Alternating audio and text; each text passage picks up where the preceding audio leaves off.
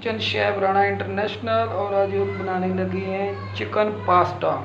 Chicken pasta के लिए हमने ये हमारे पास टमाटो हमने जिंजर कटिंग में लिया है। ये हमारे पास कैप्सिकम है, ये जिंजर कटिंग में ये हमारे पास जिंजर कड़ी है, ठीक है? और ये हमारे पास हमने इतना ऑयल ले लिया, अब हमें ऑयल में हमने डालना है चिकन को, ठीक हो गया? अब हम इसमें ये चिकन डाल देते हैं तो ये देखिए पकने में। अब हमने इसके अंदर डाल देना गार्लिक गार्लिक होगा ये। गार्लिक इसको आपने ऐसे हिला लेना तो अगर आप चाहें तो इसको चम्मच के अलावा भी आप इसको ऐसे भी हिला सकते हैं, ऐसे। ठीक हो गया ऐसे भी हिल सकते हैं। ठीक है, इसको हमने अभी थोड़ा ब्राउन कर है इतना हमने इसमें डाल दिया साल्ट तो हम ये देखिए ये चिकन हमारा इसको अच्छी तरीके हमने इसको पकाना है।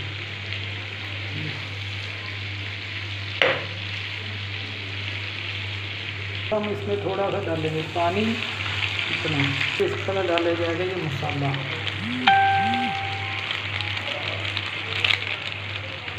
पास्ता मसाला। ये।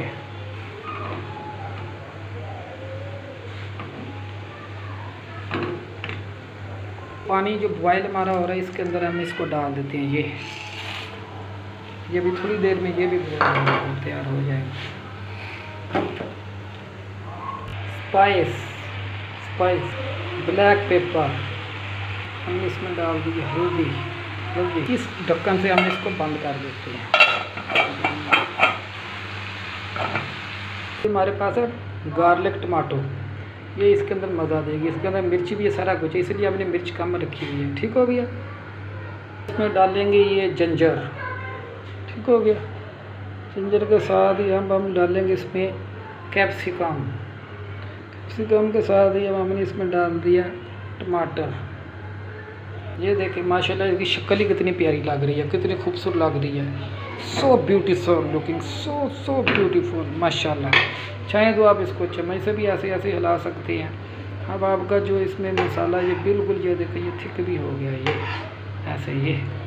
और ये बहुत मज़े का बना है।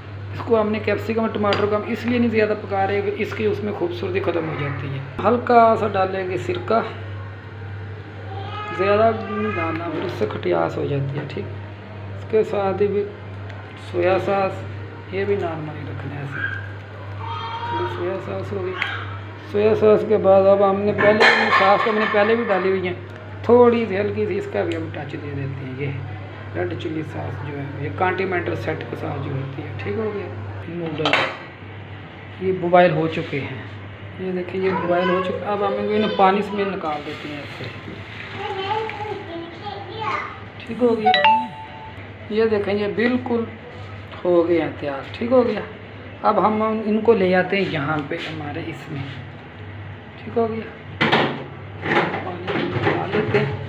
तो ये अभी ये अब हमारे पक गए हैं। अब हम इसको हल्का हल्का इनको ऐसे कर लेते हैं ताकि इनके अंदर मसाला भी रच जाए। ठीक हो मसाला हमारा ऑलरेडी तैयार है, ये बॉइल होकर नरम हो चुके हैं, और ये माशाल्लाह देखें, शक्ल भी कितनी खूबसूरत आ रही है लुक भी प्यारी आ रही है, और इसमें टमाटर के देखें स्लाइस भी लंबे लंबे नज़र आ रहे हैं, और इसी तरह शिमला मिर्च की अपनी खूबसूरती नज़र आ रही है। और ये माशाल्लाह माशाल्लाह। क्या बात है। और हम थोड़ा सा भी हम इसमें पकाते हैं आइल में देखिए इसको हल्का सा हम इसकी बनाई कर लेते हैं। ठीक है? थोड़ी सी हम हल्के इंच पे इनको पकाते हैं। ठीक है? साथ साथ हम इसको ऐसे बनाते जाते हैं। हमारा पास्ता, माशाल्लाह, बहुत प्यारा बन गया है। और माशाल्लाह इसकी लुक भी प्यारी है और देखने में भी खूबसूरत लग रही है। हमने थोड़ी इसकी आँच तेज़ कर दी है। और ये ये देखिए, माशाल्लाह माशाल्लाह। शिमला मिर्च की अपनी खूबसूरती, हर चीज़ की अपनी अपनी खूबसूरती। हमने इन चीज़ों को पहले इसलिए नहीं ज़्यादा पकाया ताकि इनकी फिर वो, अगर टमाटर हम पहले डाल देते तो उसके अंदर इसने बिल्कुल ख़त्म हो जाना था। अभी ये टमाटर भी साबित रहेगा, हमारी शिमला मिर्च भी साबित रहेगी। और ये देखने में, ये देखो, लुक भी प्यारी आ रही है, माशाल्लाह। क्या शक्ल आ रही है इसकी, माशाल्लाह, देखने में खूबसूरत लग रही है, पकते हुए भी। क्या बात है। और ये देखें बिल्कुल पाँच मिनट में ये तैयार हो गया है।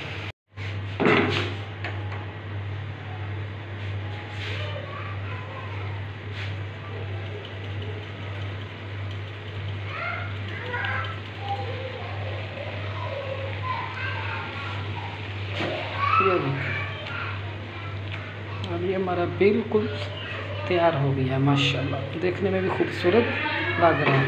अब हमने इसको बोल में उतार लेना है। ठीक हो गया? हम इसको बोल के अंदर डालते हैं ऐसे।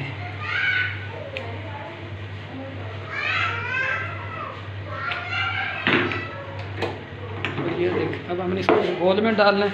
हमने इतने इसको हाइट से लेके आना है ताकि ये देखिए ये देखिए और इस तरह आपने इसको इसमें डाल लेना है। और माशाल्लाह माशाल्लाह। ये देखिए इसमें कितनी ज़बरदस्त लुक आ रही है और ये देखें, माशाल्लाह इसकी शक्ल कितनी खूबसूरत लग रही है, बोल में पड़े और आप भी इस तरह बनाएँ, बड़ा टेस्टी और क्रिस्पी है। अब ये देखें, मैं आप लोगों के सामने इसको